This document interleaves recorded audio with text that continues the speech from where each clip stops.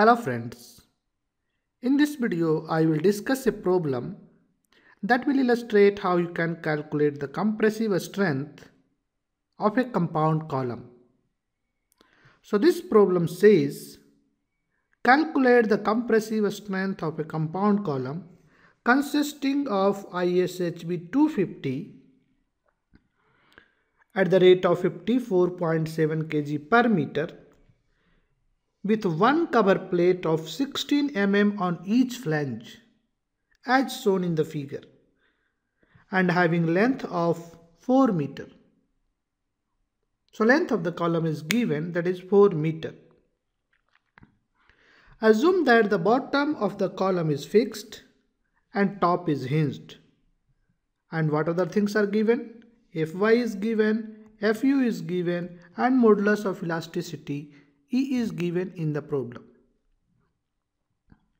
So this is the column and length of this column is 4 meter. And the bottom part, this is fixed. So this end is fixed. And the top part is hinged. So this part is hinged. So if you make a cross section at any place, this column cross section will look something like this. So this is a compound column. Basically this is made up of a ISHB section. So this is the ISHB section. ISHB 250. This means depth is 250. So this means half of the depth that is from neutral axis to this point is 125 millimeter. And then we have two cover plate. One cover plate here this is on the top and one cover plate at the bottom. So this is another cover plate. Dimension of this cover plate is given. That is 300 times 16 so this means width is 300 mm and depth of this cover plate is 16 mm. So now we have to find how much force I can apply to this column. So what is the maximum compressive force that can be applied to this column? So how will you find this? If you remember, we can use the tables that is given in IS 800. To use that table, you need to have KL by R, that is effective slenderness ratio. To calculate the effective slenderness ratio, you need to know the radius of gyration. And to know the radius of gyration, you need to know the moment of inertia. So the first thing will be to calculate the moment of inertia of this compound section and then we can find the corresponding force that can be applied to this column. So let us proceed. So what are the things that is given? So this is a pin end at one end and fixed end at other end. So the K value that is used to find the effective length we can find from the table 11 of the code. That is, in this case, k is equals to 0.8. Height of the column or length of the column is given, that is 4 meter. So now I can calculate the effective length. Effective length is nothing but KL. K is 0.8, L is 4. So effective length of this column is 3.2 meter. Now the next thing we have to find is what is the buckling class of this section so that I can use the table. So there are four tables, A, B, C, D tables in IS 800. So which table I should use that depends upon what is the buckling class. So this is a built up section because we have built this section by putting some cover plates. So if you see table 10 that gives you buckling class of cross section. So here you will find buckling class for built up member is C. So buckling class for this section is C. So this is a section of buckling class C. The, the value for K that is 0.8 in this case, you can also find this value from the table 11. So here I have this a snapshot of table 11 from IS 800. So this table 11 gives you the effective length of prismatic compression member. So you see different condition you have different value of effective length. So this is the effective length and here you have the boundary condition and this is the representation.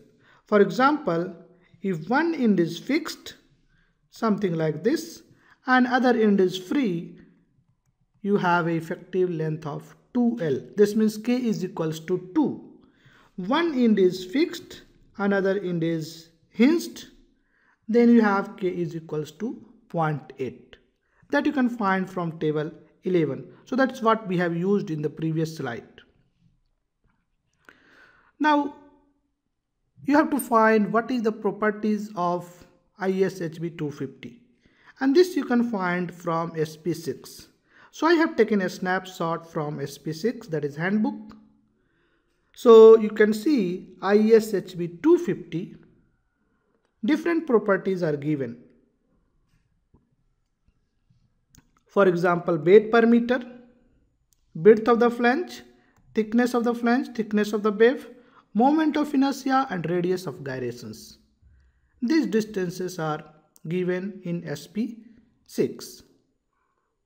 One important point in SP6 this is the xx axis and now in my problem this is my zz axis so subsequently I will make adjustment for zz and xx axis because in this problem we have considered this axis as zz axis so let us try to proceed. So we have to find moment of inertia. As I said, we have to find the radius of gyration for this built up section. First I will find moment of inertia about the ZZ axis. Let's find IZ. So how we can find? So first I know the moment of inertia of ISHB 250.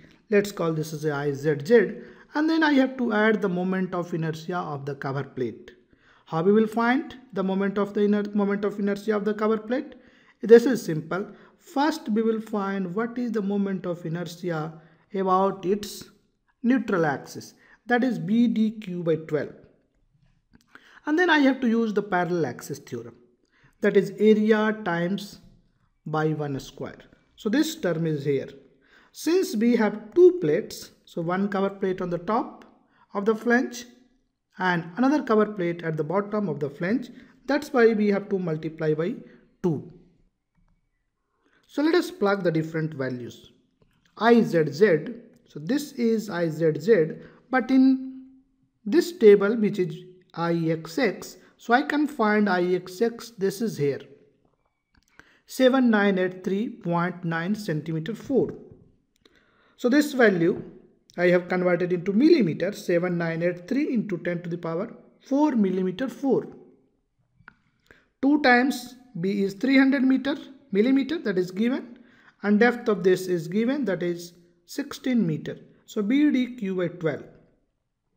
Area of the plate that is 300 times 16 that is area of the plate and then this distance by so this distance by 1 will be so this distance is 125 and this is half of the thickness of the plate. Half of thickness is 16 by 2 that is 8. So 125 plus 8 that is 133. So this is that distance. So if you plug this and calculate this you will find Iz is in this case is 24 985 10 to the power 4 millimeter 4. Now I know Iz, I can calculate area. So let's calculate the area and then we can find radius of gyration. So radius of gyration is nothing but a square root of moment of inertia divided by area. So area built up section. So we have to find first area of this ISHB 250 section. This area is given in SP6 that is 6971 millimeter square.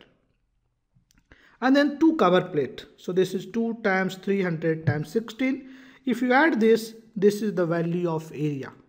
Now I can find radius of gyration. So plug the value of moment of inertia and this area we can get the radius of gyration of the built up section. So this is the radius of gyration along z axis. Similarly, we can find moment of inertia of built up section along the y-axis and the radius of gyration along the y-axis. Note that this is my y-axis. So what will be the moment of inertia? Same I by y of ISHB section along this axis plus 2 times moment of inertia of this plate. Now you can calculate the moment of inertia of this plate about this axis. This will be once again same formula but in this case B will be replaced by D. So DB cube by 12. So this is the central axis about this axis you can calculate the moment of inertia of this cover plate and this will be simply D. So this distance is D and this is this distance so DB cube by 12. So let us plug all this value. So I by by this I can find from SP6 and 2 times this is the depth of the section, width and this divided by 12. So this is the value of moment of inertia about the y-axis. Same thing. Now I can find radius of gyration. As I calculated area in the previous step, let's simply plug this area and this is your moment of inertia. So this is the radius of gyration about the y-axis. So now we have to find which radius of gyration is minimum because we have to find effective slenderness ratio that is maximum. So radius of gyration along the y-axis is 74 and along the z-axis is 122 around 123. So we have to consider minimum radius of gyration that is y-axis radius of gyration that is 74.5 millimeter.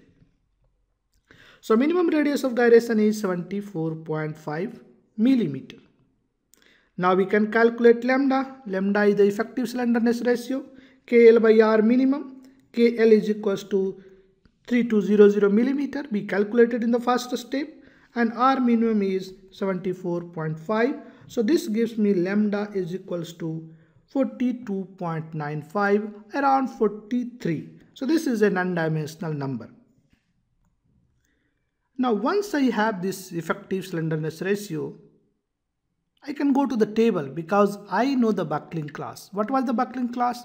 Buckling class for built up member was buckling class C.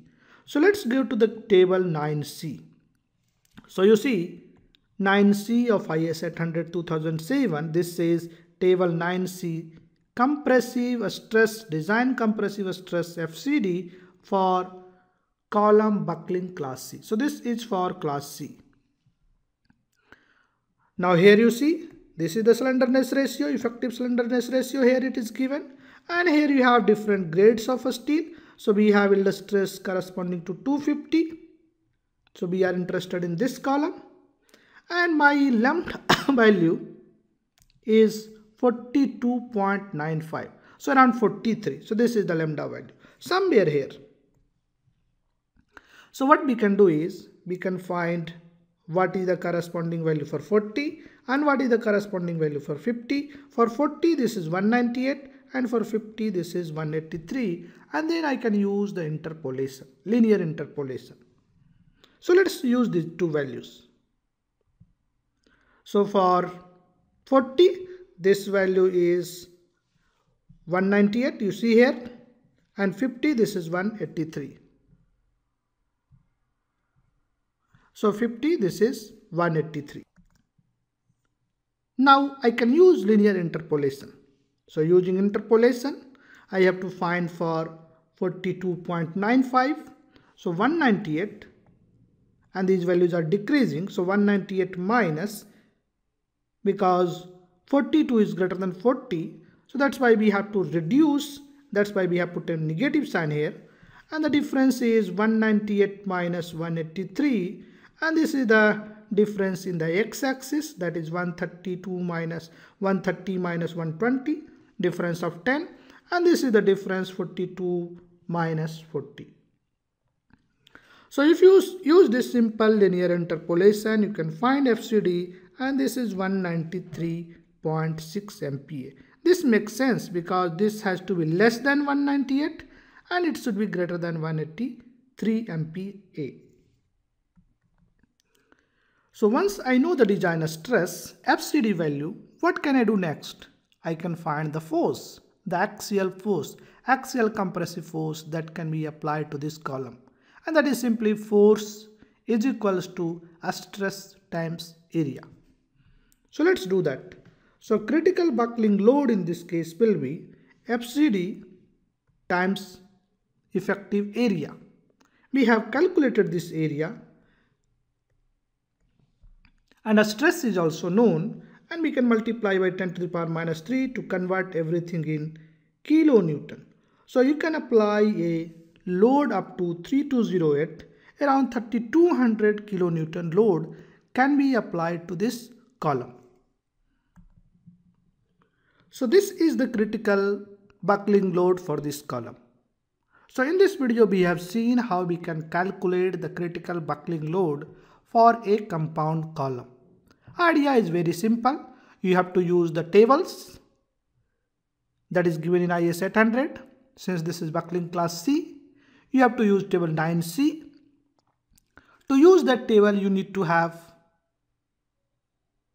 effective slenderness ratio. And to know that, you need to know radius of gyration. And to know the radius of gyration, you need to know moment of inertia of the compound section.